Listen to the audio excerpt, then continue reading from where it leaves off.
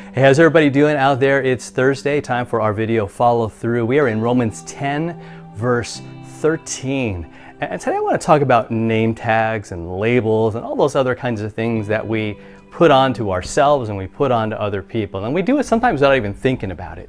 Now, uh, just a good old-fashioned name tag makes a lot of sense, right? You're at a conference or you know you're at church, and you want people that don't know you to know who you are, and maybe you want to know who they are. It's great. It, it honors the other person, right? But the other labels that we like to put on that have to do with what political party, what theological uh, you know, viewpoint we have, what kind of worship do we prefer, what kind of church do we prefer, what denomination we're in. You know, I mean, the list it gets kind of tiring, doesn't it? When you when you begin to sort of check off all those boxes and you right, you have all the different categories that we put people in. And seeing the problem with those is, yeah, they do help us to understand who somebody is and what they're about, and maybe might be sort of helpful as we're talking. But quite often it just leads to arguing, doesn't it? It, it leads to, I think, finally, to people being excluded, uh, people being looked down upon, judged, whatever you want to call it. And so I think sometimes the labels aren't real helpful. Now, it might, it might be helpful for you to understand who you are and say, yeah, this is what I'm about. But when you begin to use that to exclude others and look down on others, right, you have something that happened uh, that was kind of common in Paul's day, right, and it's what he's dealing with in Romans chapter 10. Right, so grab your Bibles, let's open up and let's look at that.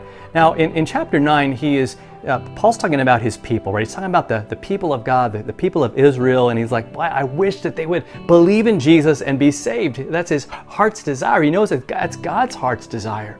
Is that they would know him, but but he said, but but so many of them just cannot accept who Jesus is. They just reject who he is. And Paul's like, I'm I'm not going to throw that aside, Jesus aside, right? So that there's some other way that they could be saved. He says, I wish there was, but there's not. He's the way, the truth, and the life, right? He is the, the one who died for us, the promised Messiah, right? The Savior. That's Him. And it's awesome. And He came for us. And here's the point that He wants to make today is that He came for everyone. It's just a simple word that, that, that very often I forget.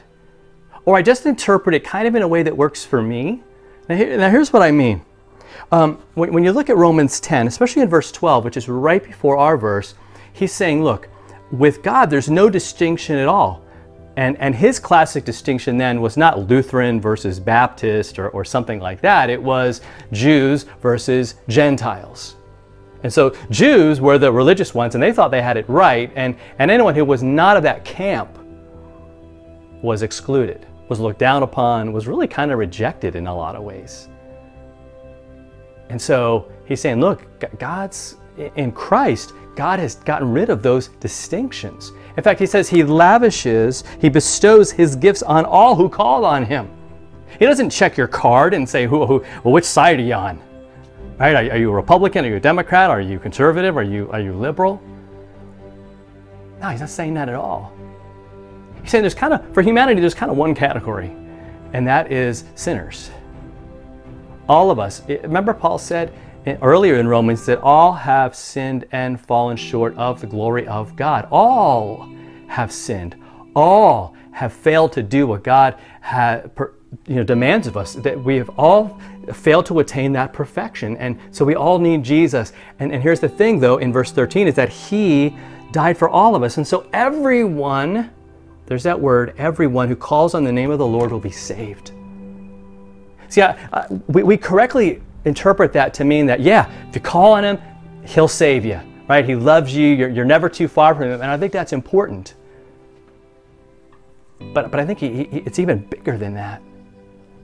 Saying, even those people that you don't think deserve it, they're, they're in the same category. They're outcasts like you, right? They, they don't deserve it, and you don't deserve it. And yet He gives the gift to us, and yes, He yet He gave His life for us. And so to me, I think that empowers us, it encourages us. In some ways, it might even challenge or, or convict us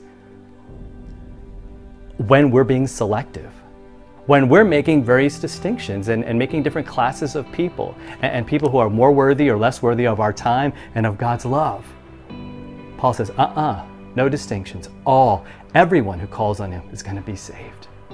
So I pray that that brings you hope for you, but also that it makes you changes the and makes makes you look at the people around you differently. As not people to be judged or put into a category or have a label slapped on them, but as people who need Jesus and for whom God gave his very life. All right? So have a great rest of your Thursday and we'll see you tomorrow for another video follow through.